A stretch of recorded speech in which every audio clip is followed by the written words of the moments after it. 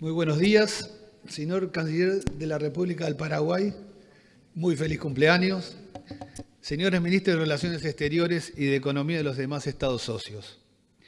Quisiera expresar mi reconocimiento a la presidencia pero tempore del Paraguay por hacer posible que podamos tener hoy una reunión del Consejo del Mercado Común de manera presencial. Si bien la virtualidad nos ha permitido que todos los órganos y foros del Mercosur sigan funcionando y desarrollando sus tareas, entendemos que los encuentros presenciales suponen un valor agregado y dan lugar a conversaciones aún más fructíferas. Quisiera resaltar también que la presidencia paraguaya ha tenido el enorme desafío de llevar adelante una agenda de trabajo en momentos de gran complejidad a nivel mundial. Cuando la pandemia ocasionada a raíz del COVID-19 parecía en los primeros meses del año dar cierta tregua a nuestros países, una nueva crisis mundial encendió las alarmas del bloque. Un conflicto bélico donde nuevamente tenemos que lamentar pérdidas humanas y donde millones de personas han tenido que abandonar sus hogares a raíz de la invasión del territorio de Ucrania.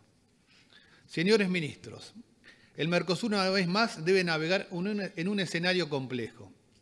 Es frente a este contexto que nuestro bloque debe tener la capacidad de ofrecer a sus integrantes un marco adecuado que permita el desarrollo de sus pueblos y de sus economías frente a los importantes desafíos que debemos sortear. En anteriores intervenciones que he realizado a nivel del Consejo del Mercado Común, hacía referencia a la necesidad de trabajar dentro del bloque con un sentido modernizador y realista. Asimismo, la necesidad de trabajar con una visión lo más amplia posible, llevando adelante niveles de pragmatismo que permitan explorar diferentes alternativas, tanto en el plano interno como en el plano externo del Mercosur. En este sentido, permítanme resaltar una vez más las razones detrás de esta necesidad de modernizar el Mercosur. En primer lugar, a más de 30 años de la aprobación del Tratado de Asunción, no hemos logrado cumplir con los objetivos propuestos en los textos fundacionales del bloque. Los principales ejes en materia de política comercial, esto es, la consolidación de una unión aduanera y el relacionamiento externo, se han visto pospuestos una y otra vez. En efecto, las continuas prórrogas de plazos y cronogramas de cumplimiento nos indican con mayor claridad que no estamos frente a un mercado común. Tampoco se ha alcanzado siquiera la conformación de una unión aduanera, pues en materia comercial, entre los instrumentos que la conforman, tenemos un arancel externo común que más que común es una referencia para buscar diferentes mecanismos de perforación y o regímenes, listas nacionales de excepciones, bienes de capital, bienes informáticos y telecomunicaciones, insumos agropecuarios, lácteos, textiles, etc., además de los sectores excluidos. A la fecha, el Mercosur solo se asemeja a una zona de libre comercio imperfecta. A su vez, hemos intentado al menos cinco veces dar nuevo impulso al bloque, mediante programas y procesos que incluso apuntaron al relanzamiento del Mercosur. Por ello, lo que Uruguay plantea es que hace 31 años estamos en un eterno estado de permanente transición hacia el mercado común. En este sentido, Quisiera reiterar una vez más que Uruguay, como economía de menor tamaño relativo, no puede darse el lujo de asumir los costos de tener un arancel externo común elevado a nivel mundial, salvo que se obtengan beneficios reales en dos cuestiones vitales. La primera, el acceso consolidado y sin restricciones al mercado ampliado. La segunda, el mayor peso relativo y atractivo del bloque en la negociación con terceros estados. En relación al primer punto que planteo, Permítame subrayar que no solo no hemos logrado un acceso consolidado y sin restricciones en el comercio intrabloque, sino que la situación se ha visto aún más deteriorada en el transcurso de los últimos años en lo que refiere al comercio con algunos de los socios. Por lo señalado y en el contexto en que vivimos, marcado por una gran incertidumbre en los intercambios comerciales en el mundo, nuestro bloque no puede sumar inseguridades, sino que debe afirmar certezas que se traduzcan en confianza entre los operadores comerciales.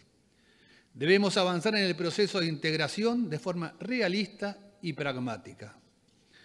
Señores ministros, nuestro país considera impostergable insistir también con el sinceramiento y la modernización del bloque en materia de relacionamiento externo. Estamos convencidos que buena parte de nuestro éxito como Mercosur radica en alcanzar una inserción internacional exitosa de sus partes. Saludamos y celebramos la culminación exitosa de las negociaciones del Mercosur con Singapur para establecer un tratado de libre comercio de última generación. Es una muestra clara de que el Mercosur debe decididamente impulsar su agenda externa y así mejorar su acceso a mercados extranjeros. Uruguay siempre ha promovido alcanzar un mayor dinamismo de esa agenda externa. Para un país de desarrollo en transición y mercado interno reducido es imprescindible ampliar el acceso a terceros mercados para poder desarrollar proyectos industriales sostenibles en el tiempo. Por ello, seguimos considerando que debemos conciliar una agenda externa ambiciosa que nos permita negociar acuerdos con los actores relevantes del comercio internacional, actuando en el marco de un pragmatismo responsable, instrumentándola ya sea de manera conjunta con los demás socios del Mercosur o, en caso de no ser posible, de forma individual por cualquiera de sus miembros. Presidente, nuestro país continuará actuando en materia de relacionamiento externo sobre la base de estos principios. Sobre este último aspecto ya he expresado en anteriores ocasiones que siempre hemos tenido y mantenido nuestra potestad de negociar acuerdos comerciales internacionales con terceros países, estados o de forma individual. Hemos señalado esta posición a nivel de los órganos técnicos y políticos del Mercosur. Por tal motivo, reafirmamos nuestra potestad de negociación con países y bloques extrazona, al tiempo que mantenemos nuestro firme compromiso con el proceso de integración regional desde nuestra condición de Estado parte. Es en este contexto que nuestro país viene en un marco de absoluta seriedad y conforme a sus convicciones, manteniendo intercambio con la República Popular de China, con miras a alcanzar un acuerdo de libre comercio. Respecto a esta negociación, Hemos sido transparentes y hemos transmitido desde un comienzo a todos los socios fundacionales del bloque cuál era nuestra intención. Seguiremos impulsando este diálogo franco con todos ustedes, ya sea con esta negociación con China, así como con las conversaciones que Uruguay mantiene con otros países.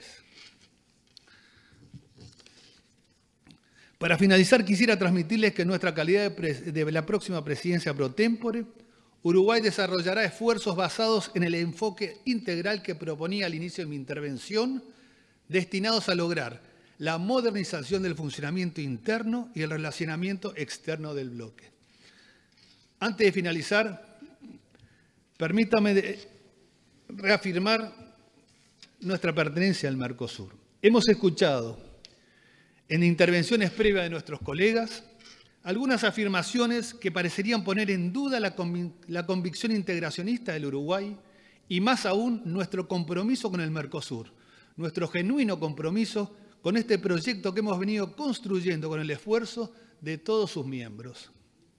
Es por eso que queremos decir en esta nueva reunión del Consejo que Uruguay adhirió a nuestro proyecto de integración en forma libre y soberana y permaneceremos en este proceso también por decisión libre y soberana.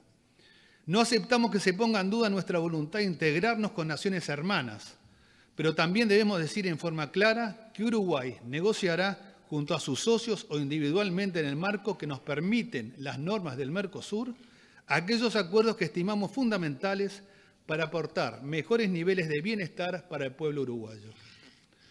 Agradecemos una vez más a nuestros queridos hermanos paraguayos por su hospitalidad y la eficaz labor desarrollada por su presidencia pro tempore. Muchas gracias.